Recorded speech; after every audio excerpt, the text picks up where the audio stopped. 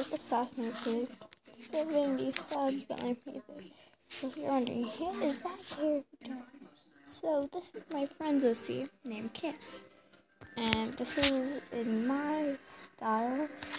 Uh, her style is white and she doesn't have glasses, but uh, she's throwing money.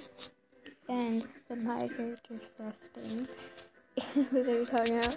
Because I made this for 70 subs. She's throwing, she's, that was meant to be so she's to getting $70 and throwing them. She's 11 and she has a sister too.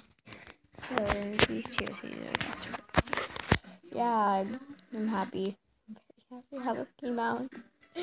Oh my god.